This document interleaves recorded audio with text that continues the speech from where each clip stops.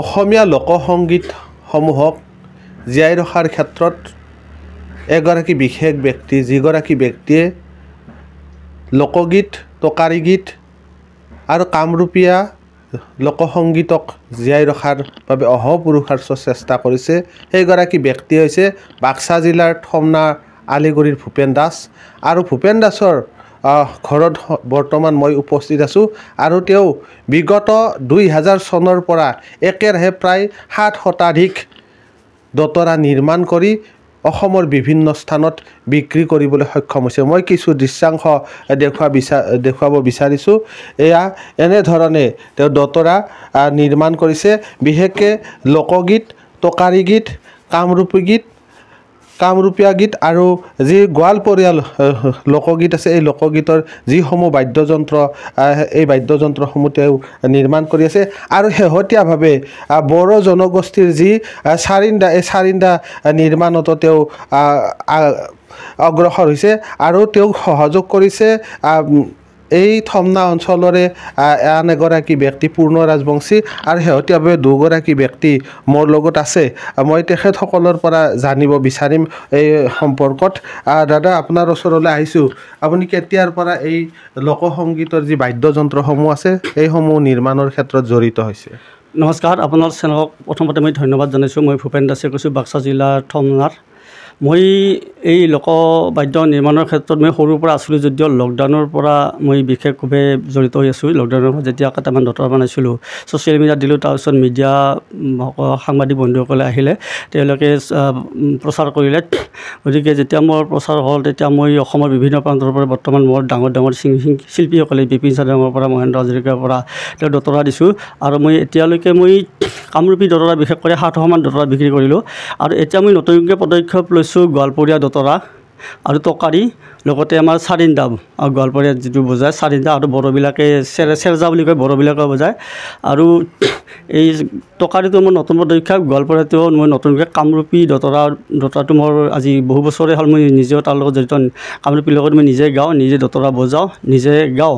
আৰু ইয়াৰ লগতে আমাৰ মোৰ কাষৰে চুবুৰী গাঁও হেৰি লাফাকুচি গাঁৱৰ পূৰ্ণ ৰাজবংশী। তেখেতে গোৱালপাৰীত চাৰিন্দা বনাব জানে। গতিকে তেওঁ যিহেতু একজন পঁয়ষষ্ঠি আজি সাতষষ্ঠি বছৰ বয়স তেখেতে সাতষষ্ঠি বছৰ বয়সত তেওঁ শ্ৰমিক তেওঁ এজন তিনিশ টকাত মজুৰি কৰি আছে মই বোলো এই মানুহজন বহুত হেৰিখিনি জানে এই হেৰাই হেৰাই যোৱা লোকবাদ্যবিদ গতিকে আমি উদ্ধাৰৰ ক্ষেত্ৰত আমি পদক্ষেপ ল'ব লাগে। সেইকাৰণে মই ৰাজবংশী মই সহযোগ হিচাপে লৈছোঁ আৰু ময়ো সহযোগ কৰিছোঁ। তেখেতে বনাই যদিও অলপ মডিফাই তাৰমানে কালাৰ চালাৰৰ ক্ষেত্ৰত তেওঁ যিহেতু অলপ বয়সীয়াল মানুহ গতিকে ময়ো অলপ সহায় কৰি দিছোঁ। গতিকে আমি দুইজনে লগ লাগি চাৰিটা বৰ্তমান বনাই আছোঁ। মোৰ কাষত আছে পূৰ্ণ ৰাজবংশী আৰু মানুহজন ওলাই আহক।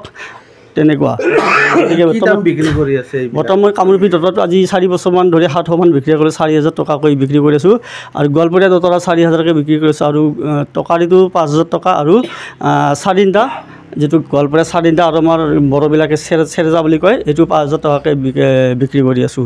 ইতিমধ্যে বুকিং হৈছেও বেছি নাইও মোৰ ইয়াত যিকেইটা আছে আপোনাৰ দেখাই গৈছে আৰু পৰৱৰ্তী পদক্ষেপ ল'ম মই লাহে ধৰণৰ সঁহাৰি পাইছে ৰাইজৰ ৰাইজৰ পৰা বৰ্তমান এটা নতুন যদিও মাজতে নোহোৱা হৈ গৈছিল মই যেতিয়াৰ পৰা মই বনাই আছোঁ মানুহবিলাক কৈয়ে আছে যে এটা নতুন এটা পদক্ষেপ লৈছা ভাল লাগিছে হেৰাই যোৱা লোকবিদ্যবিদ যি বনাই আছা। গতিকে মই ৰাইজৰ পৰা সহায় সহযোগ পাইছোঁ আহ, সেইকাৰণে উৎসাহ উদ্দীপনাৰে মই বনাই আছোঁ। আৰু এই হেৰাই যোৱা ব- যিটো লোকবাদ্য মোৰ যিটো বৰ্তমান শিল্পকৰ্ম এই মোৰ শিল্পকৰ্মক যদি আগুৱাই লৈ যাব লগা হয় ৰাইজৰ সহায় সহযোগিতা লাগিব। ৰাইজৰ যদি সহায় সহযোগিতা নাথাকে তেন্তে মোৰ এই শিল্পকৰ্ম স্তব্ধ হ'ব। আৰু আমাৰ মোৰ দাদা ককাই হয় তেখেতকো মই নতুনকৈ উলিয়াইছোঁ তেখেতে চেৰজা চেৰিন্দা বজাব জানে। বনাব জানে আৰু গাবও জানে গতিকে তেখেতৰো নতুন পদক্ষেপ লৈছোঁ আৰু তেখেতকো সহযোগ কৰক আপোনালোকে এই লোকবাদ্যবিধ আগবঢ়াই নিয়াৰ ক্ষেত্ৰত। ময়ো তেখেতৰ লগত তেখেতৰ লগত আছোঁ আৰু আপোনাক ধন্যবাদ। মই এইবাৰ পূৰ্ণ ৰাজবংশীৰ ওচৰলৈ আহিছোঁ। আপুনি কেতিয়াৰ পৰা এই যিটো চাৰিন্দা চাৰিন্দা নিৰ্মাণৰ লগত জড়িত হৈছে আৰু কেনেকৈ ভূপেন দাসৰ নমস্কাৰ। মোৰ নাম পূৰ্ণ ৰাজবংশী উত্তৰ লাভাকুচি গাঁৱৰ।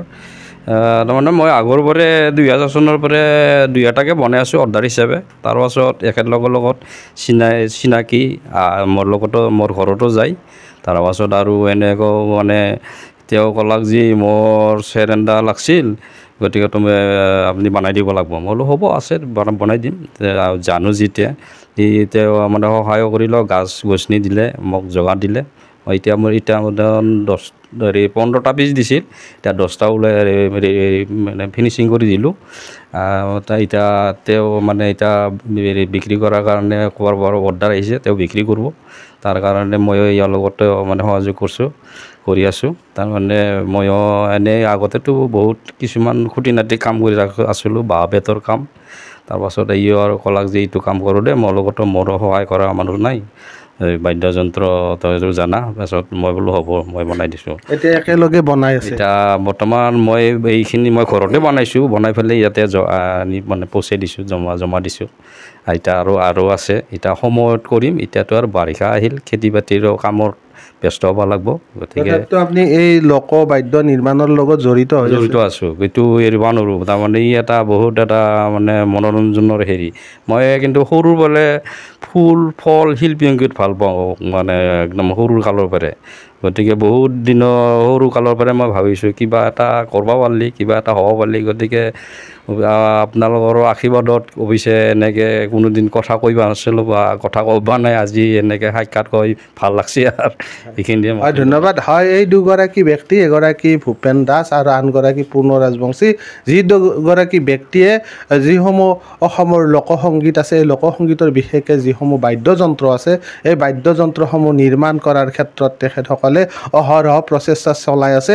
আৰু এই ক্ষেত্ৰত অৱশ্যে আমাৰ যিসকল সংগীতপ্ৰেমী বা লোকসংগীতৰ ভক্ত তেখেতসকলেও এওঁলোকক সহযোগ কৰিব লাগিব আৰু তেওঁলোকেও সেইটোৱে আশা কৰিছে।